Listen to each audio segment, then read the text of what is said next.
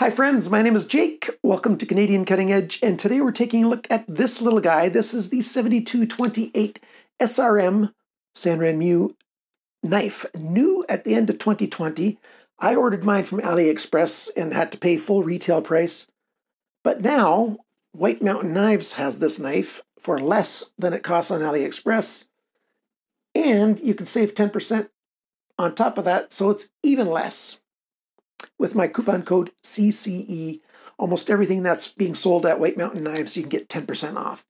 There are some manufacturers of brands like Benchmade that don't let sellers sell knives at a discount or having a, you know a discount codes and things. But if you want to buy a Benchmade or similar knife from White Mountain Knives, once you finish the payment and everything, you'll get a, a receipt.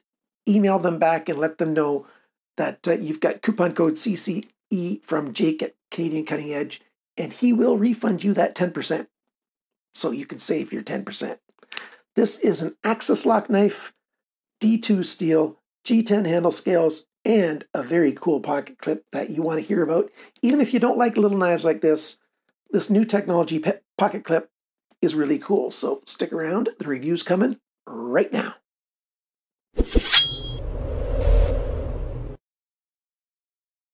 For those of you who were around at the very start of this channel, a Sanrenmu knife was my very first review.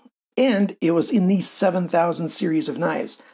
Sanrenmu 7000 series of knives are knives that have blades under 2 inches and uh, 3 inches, not 2, under 3 inches in length. And this is also under 3 inches in length. Let's compare the size to an Ontario Rat 1. Put that on the screen right there. See, it's a smaller knife. The Ontario Rat one is significantly bigger in every single way. But is this thing too small to carry? My hands are within the extra large range when I got to go buy gloves uh, for the winter, especially on days like this week. This week has been so so cold. It's Thursday today, and schools have been closed all week because of the cold. The uh, wind chill factor makes it below minus 40. Minus 40 Celsius and minus 40 Fahrenheit are the same number. So below minus 40, yeah. It's been cold. This knife is a good budget knife. And look at this. My hand fits in here. All fingers get a grip, even though my hands are within that extra large range. That's between around 9 or 10, 9.5, I guess, in the European men's glove sizes. I'm right in that range. So this knife is a knife that certainly is one where you can get a full secure grip unless your hands are really, really big. But even if you've got men's small hands, this knife will fit in your hands very well. We've got D2 steel, a vertical brushed satin finish. We've got a fuller, drop point there with a swedge, a really fast belly, you know, a sharp radius right there, and then most of the knife is a straight cutting edge there. Thumb disc for the uh, deployment, and it's a good spot. You put your thumb over that when you need to push through things hard. I did a bunch of cardboard cutting with this, and it's very good to have that thumb rest there to help cut through. And it's not really in the way when you're slicing through things for stuff to get caught on it because it's back far enough close to the handle.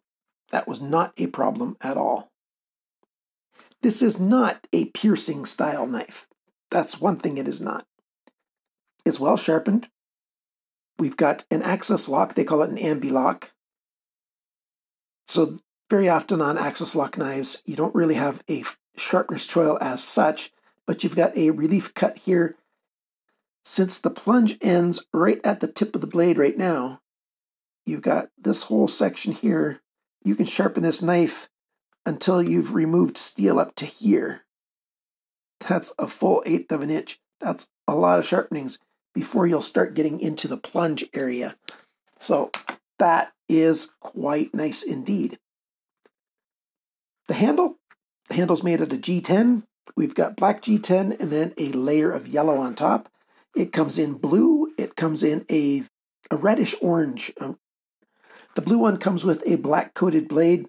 These knives are now available at, like I said, White Mountain Knives, which makes them very accessible, especially for Canadians, because AliExpress, most stores there don't ship knives to Canada anymore, all because of uh, CBSA taking away knives and uh, consumers demanding their refunds, even though it's our government's fault and not the seller. So the sellers just decide they won't sell to Canada anymore. The axis lock is very smooth. If we just pull back on the lock and the blade just wants to fall, let me here get that out of the way there. The blade just, it's just free. Very smooth. We got washers in there. We've got those black Teflon washers with a very, very thin phosphor bronze washer. At least that's traditionally what Sanrenmu does on knives like this. I have not taken this one up apart yet. I really don't like taking axis lock knives completely apart to get into the washers because they can be a pain to put back together. I've never failed to get one back together. I just, it's a pain. So I, I don't like doing that. So clearly they've got very good uh, lubrication in here. These washers are smooth and lockup is solid. No blade play side to side, up and down. It's wonderful. The axis lock is very fully engaged. You can see right there the shiny part, and then there's a vertical line. That section is where the axis lock has been engaged. Did a spine whack test, solid, doesn't want to close on you, very well made. We've got a nice relief cut here for the index finger. It's angled and reliefed back just so that you can get a very solid grip here. Sometimes I was gripping a little bit up from there just so that I could push that much harder right over where I was cutting, and that was comfortable as well. These edges here are also lightly rounded. We've got a full lanyard tube and T8 screws here, and I think that's a T4. I'll double check that. It's very easy to sharpen this knife. You've got a nice flat section here that you can put into a clamp system. And if you use whetstones, you know, there is enough distance here away from the edge that you'll be able to sharpen right to the end, to the heel, no problem. I like the fuller. It's got a, it adds to the look on the blade. Uh, it's not something to grab to deploy the blade. That's just that thumb disc, and it just deploys very fine. Easy to close the knife. It's very flick friendly to, you know, it's hard to do in this tiny little space, but to just use the axis lock to flick and just deploy the blade and then flick and close it. It's a fun knife and it's not very noisy. It's not super annoying to my wife when I play with this knife while we're watching uh, Netflix or Amazon Prime or whatever. So, yeah, that's quite nice. The screws are D-shaped, the pivot, the pins for them, I mean, so you only access them from this side. This side's nice and smooth for the finish. Makes it look really nice. I like that milled out line here that they put in there. That's for texture and for, you know, just makes it look really, really nice. This knife, to me, it's got a bit of a 70s vibe to it, the styling. I don't know. G10 backspacer. And now for what you've been waiting for, this pocket clip. This pocket clip it's a little bit like a wire clip. Deep carry, full deep, full depth. Let me grab my shorts, my pants that I can show you with. It climbs over. Even these, these are standard denim. It's you know fairly close to the side. It looks like it's too close, but uh, it goes on full depth and it hides in there. And since everything's black on the back, even this bright yellow knife, it just hides very well. I like that a lot. What happens if I want to be left handed for a while? You take this and you squeeze and lift out, and it comes right out. You've got little hooks, two on each side right there. So when you squeeze, they disengage, and when you let go, they engage on the sides, and you just slide it in for where you want it. You have to separate it just a little bit. You have to pull those apart, slide them in, push it in, click, it's on. Squeeze and wiggle, pull it out, and it's on. And it is secure. I did some tests on it. I put it on and I was yanking on it. I was using this to test with. I just did it upside down like this, yanking hard, you know, trying to see if it'll come loose. No, it does not come loose. It stays on there. Very well made clip. There's some other Sanrenmu knives that have this same clip. They're doing quite a bit with it. I like it a lot. It's not extra big. It suits the size of this knife. And it's so easy to make left to right. It's a very good clip. I'm surprised nobody thought of it sooner. And if somebody did, I wasn't aware of it. So if they're ripping off somebody else's idea, I don't know about that, but that's quite nice. So here it is taken apart. There's a cutaway right there, and there's a cutaway right there. And those two edges are where the pocket clip slides into.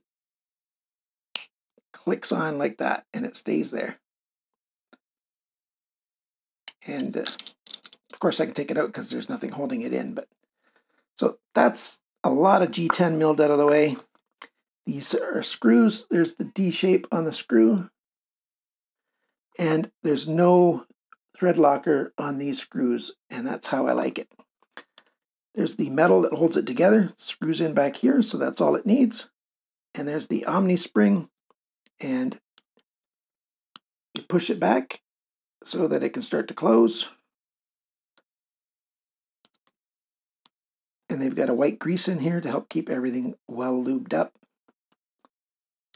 Works very well. Okay, so I'll take it apart so that you can see the washers. There you go. I'm not going to take it all the way apart. That's as far as I'm going to go because it's hard to put back. There's the very thin phosphor bronze, and there's a little black nylon washer underneath it, I think. The nylon washer is closer to the handle scale. You can just barely see it in here. I'll see how close I can get it to focus. In the main hole, you can see the black washer, and then over here you can see this. So two washers on each side, that helps keep it very uh, functional, very smooth action. And let's hope I can put this back together. I'm going to go off camera because this always takes me about 15 minutes to get back together. We'll put this tape measure on the screen for a while we're doing those measurements and things. The weight of this knife, 73 grams, 2.55 ounces. Yep, a nice light knife. The sharpness from the factory, and I measured it right about where my finger is, 85 BESS. 200 and less is considered sharp, so yeah, they sharpened this thing quite well. The cutting edge length, imagine a straight line from tip to the heel of the blade, 69.7 millimeters, 2.744 inches. The blade length, tip to the closest spot on the handle, 68.9 millimeters, 2.7125 inches. The blade thickness measured at the ricasso back here, 3.04 millimeters. That's 0.12 of an inch, so just a tiniest bit under an eighth of an inch thick stock. The blade depth, the widest spot this way, 24.3 millimeters, that's 0.9565 inches. The thickness of the edge behind the grind, about in the middle of this flat section, straight section is where I measured it. It is 0.42 millimeters, 16 and a half thousandths of an inch thick. Awesome. I love that. So this knife, you can sharpen it many, many, many times before it's going to start getting thick behind the grind. The grind angle, 13.3 degrees, 17.1 degrees, a little bit less on the belly, but that's within a degree, the full length. So it was well sharpened, which is surprising on such a tight curve like this. It would be so easy to sharpen it very differently along there. So kudos to whoever was sharpening this. Now for the handle, the handle length is 95.5 millimeters, 3.9175 inches, so four inch handle. The grip area, I measured to I'm calling it about eight and a half centimeters, about three and a quarter inches, a little bit over three and a quarter inches.